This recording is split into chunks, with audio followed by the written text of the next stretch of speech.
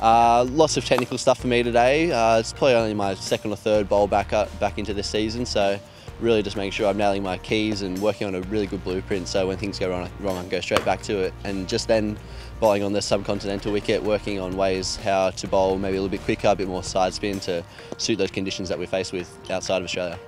Uh, it's been great.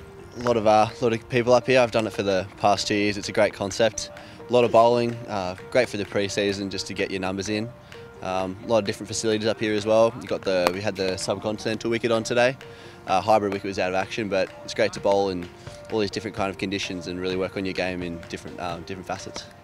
Next couple of weeks and months, just training, lots of bowling, lots of batting. You get to work on all parts of your game up here. Uh, lots of throwing as well. Uh, just really make, making those one percenters count. But uh, definitely, it's a great experience being able to bowl against the best batters and with the best coaches behind you to help, and you just can't help but get better.